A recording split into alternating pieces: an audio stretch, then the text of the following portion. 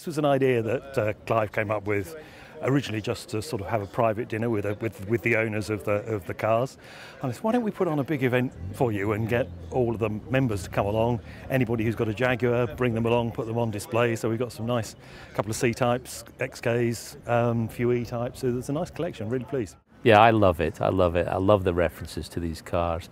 And you know, what a lot of people uh, respect what I understand with Jaguar is I can look at these cars, I understand every form, every line, every detail on them. It's sort of, it's imprinted in my brain, you know, and not just because of my time at Jaguar, way back, way back to the Ecurie days, funnily enough. Yeah. You know, way back to the days in Edinburgh when my grandfather tried to take me down to the Mews to see what we could find. And we could never see anybody, but, uh, you know, the intention was there. So yeah, it's, it's, it's wonderfully, not just nostalgic, but very relevant to me.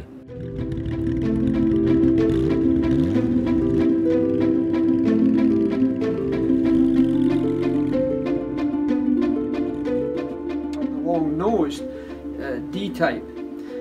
Now it's had a terrific heritage, but if you think about it, what the 120 did, then what the C-type did, the D-type, and then finally the long-nosed D-type, it was just probably the most beautiful racing car that's ever been built.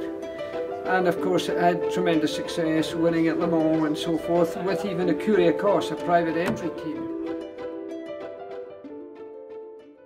They had this recording equipment and I pulled 192, but which again proved it. Mike Hawthorn in his D-type was 187.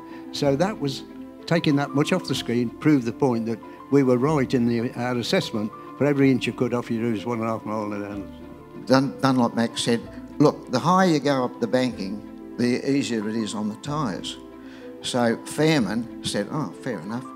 So on the top of the banking, it was Armco. And Fairman went so close, he took the outside handle, the tie-down strap, and the, and the first and the first coating of, of paint. So we so we nicknamed him Fearless Jack. yes, it, you, you, felt the pressure of what you were driving, and of course the red mist comes down, you forget what you're driving. That car was amazing to drive, and once you get, you know what it's like when you get into the rhythm of a car.